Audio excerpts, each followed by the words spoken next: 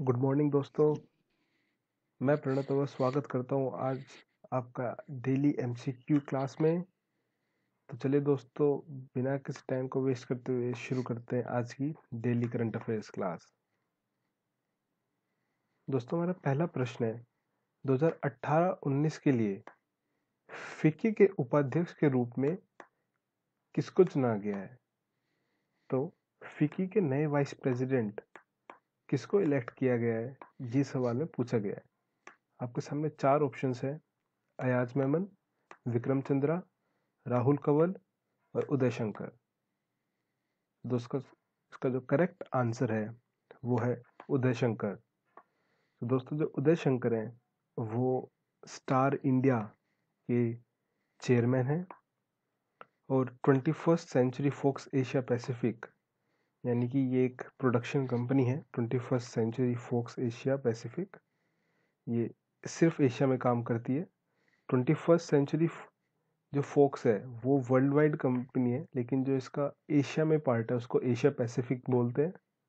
और इनको चुना गया vice president as FICCI FICCI जिसको हम सब जानते हैं Federation of Indian Chambers of Commerce and Industry ये एक ग्रुप है इंडस्ट्रीज़ का, ताकि वो लोग अपने इंटरेस्ट और अपने राइट्स को डिस्कस कर सके एक साथ मिलकर। तो इसलिए इस बॉडी को बनाया गया था। दोस्तों, दूसरा प्रश्न है, किस संगठन ने नई Bharat at the rate seventy five के लिए रणनीति जारी की है? यानी कि which organization has release strategy for new India at the rate seventy five हमारे सामने जो चार ऑप्शंस हैं, वो है NITI Aayog RBI supreme court और सी बी ई सी दोस्तों, इसका जो करेक्ट आंसर है, वो है नीति आयोग। देखिए दोस्तों, हम सब जानते हैं कि नीति आयोग इंडिया की प्राइम बॉडी है या फिर स्टार बॉडी है रिसर्च में।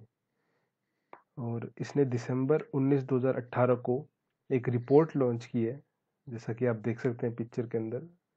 फाइनेंस मिनिस्टर अरुण जेटली ने इसको लॉन्च किया है, जो पीछे पीपीटी है उस पर भी लिखा हुआ है।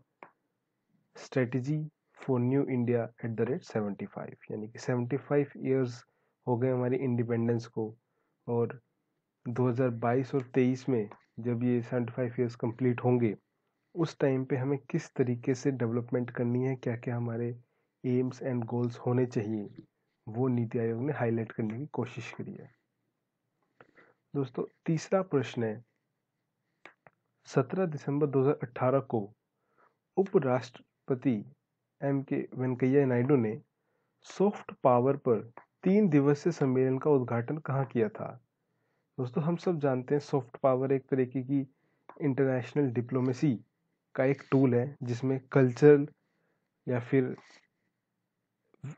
कल्चर के बेसिस पे, हमारे कॉमन वैल्यूज़ के बेसिस पे कंट्रीज़ अपने आपस में रिलेशन स्ट्रॉन्ग करती है। तो जैसे कि इंडिया और पाकिस्तान एक ही कंट्री थे पहले तो इनका जो कल्चर है काफ़ी सेम है।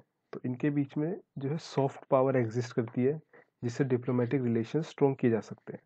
तो इसके ऊपर एक one day three day conference कराई गई, जिसको एम के वेंकैया नायडू जो कि हमारे देश के वाइस प्रेसिडेंट है इनोग्रेट कराया। तो सवाल है कि ये कहाँ पे ऑर्गेनाइज की गई थी?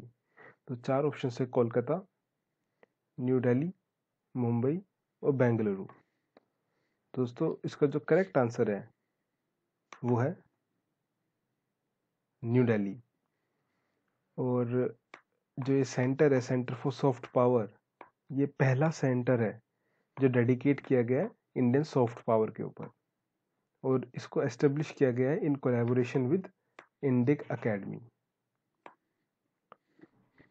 दोस्तों, हमारा जो चौथा प्रश्न है, वो है, इनमें से कौन सा ऑनलाइन स्वास्थ्य काउंसलिंग ऐप है जो यूपी में ग्रामीण इलाकों में रहने वाले लोगों को स्वास्थ्य सेवा प्रदान करने के लिए लॉन्च किया गया है। यानी कि which app has been launched by the government of UP in order to provide online health consultation app और in order to provide health care to people living in UP यानी कि उत्तर प्रदेश के अंदर स्वास्थ्य सेवा प्रदान करने के लिए किस ऐप को लॉन्च किया गया हमारे सामने चार ऑप्शन है, वो है उमंग, भीम, साथी और माई गवर्नमेंट दोस्तों का जो करेक्ट आंसर है, वो है साथी। और इसको जो है, जब लॉन्च किया गया है, दोस्तों जो इसका मेन पॉइंट है, वो है कि इसके साथ साथ हेल्थ कार्ड्स भी जो है in state of Uttar Pradesh launch किए गए हैं। और इंडिया की largest online health camp my Upchar ने जो है दोनों चीज़ें लॉन्च की है, चाहे वो साथी ऐप हो या फिर हेल्थ कार्ड्स हो। दोस्तों पांचवा प्रश्न है कॉलेज के छात्रों के साथ बेहतर कनेक्टिविटी सुनिश्चित करने के लिए किस राज्य सरकार ने शिक्षा सेतु ऐप को लॉन्च किया है? यानी कि which state government has launch Shiksha Setu app? ताकि कॉलेज स्टूडेंट के साथ बेटर कनेक्टिविटी बन सकें। तो, तो चार ऑप्शन है वो है पंजाब असम हरियाणा और उत्तर प्रदेश। दोस्तों इसका जो करेक्ट आंसर है, वो है हरियाणा। और इसके बारे में थोड़ा जानने की कोशिश करते हैं। तो ये जो किस तरीके से हेल्प करेगी स्टूडेंट्स को, वो इस तरीके से हेल्प करेगी कि ये उनको इन्फॉर्मेशन प्रोवाइड करेगी अटेंडेंस के बारे में फ़ीस के बारे में ऑनलाइन एडमिशन के बारे में और स्कॉलरशिप्स के बारे में। जिससे जो कॉलेज के स्टूडेंट्स हैं, वो इन सब चीज़ों के बारे में एक इजी मीडियम से अपडेटेड रहें। तो इन केस अगर हमारे जो व्यूअर्स हैं हरियाणा गवर्नमेंट कॉलेजेस में पढ़ते हैं तो वो ज़रूर इस ऐप को यूज़ करें ताकि उनको स्कॉलरशिप्स के बारे में पता लग सके, ऑनलाइन एडमिशन के बारे में पता लग सके। दोस्तों, छठा सवाल है कि एक जनवरी 2019 से केंद्रीय अप्रत्यक्ष कर और सीमा शुल्क, यानी सीबीआईसी जिसको हम Central Board of Indirect Taxes and Customs भी बोलते हैं तो एक जनवरी 2019 से उनके नए चेयरमैन यानी कि नए अध्यक्ष के रूप में किसको नियुक्त किया गया है?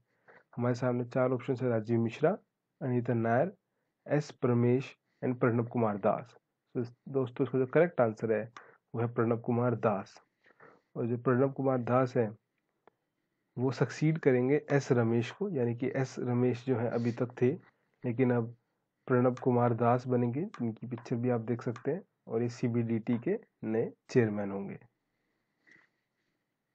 दोस्तों, सातवां प्रश्न है कि 20 दिसंबर 2018 को राष्ट्रपति शासन किस भारतीय राज्य पर लगाया गया था? यानी कि which state has faced imposition of president rule on December 20 2018 तो दोस्तों, काफ़ी लेटेस्ट क्वेश्चन है तो इसका आंसर आप सभी को पता होना चाहिए, और वो है जम्मू एंड कश्मीर, जिसमें अभी तक पिछले छः महीने से गवर्नर रूल था, लेकिन जो जम्मू एंड कश्मीर का कॉन्स्टिट्यूशन है वो ये कहता है कि आफ्टर सिक्स मंथ यानी कि छः महीने के बाद जब गवर्नर रूल लग चुका है, उसके बाद इट्स नेसेसरी या फिर एक तरीके से मैंडेटरी है कि प्रेसिडेंट रूल लगेगा और प्रेसिडेंट रामनाथ कोविंद ने उस प्रोक्लेमेशन यानी कि उस कागज़ पर अब साइन कर दी है, जिससे कि वहाँ पर प्रेसिडेंट रूल या फिर राष्ट्रपति शासन लग जाएगा। दोस्तों, आठवां प्रश्न है कि 19 दिसंबर 2018 को रिलीज़ हुई चेंजिंग इंडिया किताब के लेखक कौन है? तो सिंपली क्वेश्चन ये है कि चेंजिंग इंडिया नाम की जो बुक है, उसके ऑथर कौन है? तो आपके सामने चार ऑप्शन है, अरुण जेटली, नरेंद्र मोदी, मनमोहन सिंह और सचिन तेंदुलकर। तो अगर आप लोग न्यूज़ फॉलो करते हैं तो आपने देखा होगा कि रिसेंटली मनमोहन सिंह की प्रेस कॉन्फ्रेंस काफ़ी ज़्यादा न्यूज़ में रही है और वो इसी से रहे क्योंकि उन्होंने अपनी बुक चेंजिंग इंडिया को लॉन्च किया है। और जो ये बुक है, इसके अंदर कुछ जो मेन मटेरियल है वो है उनकी स्पीचेस जो कि छः वोल छः वॉल्यूम्स हैं इस किताब के अंदर। ये कंपाइलेशन है उनकी स्पीचेस और राइटिंग्स का, जिन्होंने पिछले दस साल में चाहे वो यूपीए गवर्नमेंट के एज प्राइम मिनिस्टर की दी हो या फिर एज इकोनॉमिस्ट उन्होंने जो स्पीचेस दी हैं, वो सब इसके अंदर डाली गई हैं।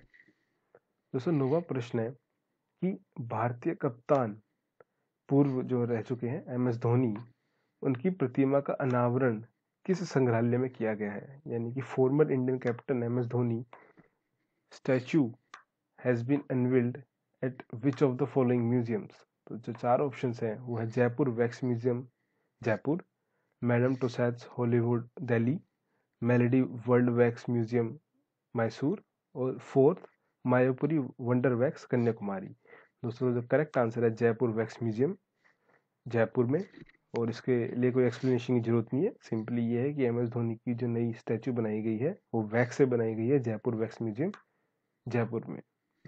तो आज का जो आखिरी प्रश्न है, वो ये है कि निम्नलिखित में से किसको सीबीआई के अतिरिक्त निदेशक नियुक्त किया गया था?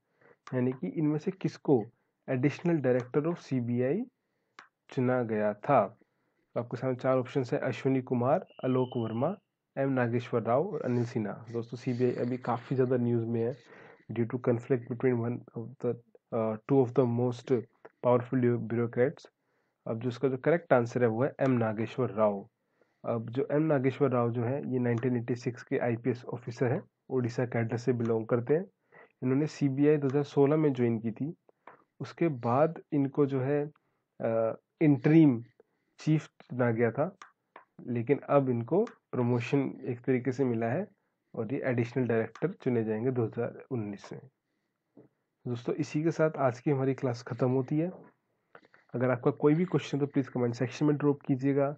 हमारे चैनल को लाइक हमारे चैनल को सब्सक्राइब ज़रूर कीजिएगा वीडियो को लाइक कीजिएगा और तो अपने दोस्तों के साथ भी शेयर कीजिए ताकि उनको भी इन क्लासेस का फ़ायदा मिल सके। दोस्तों thank you for watching this video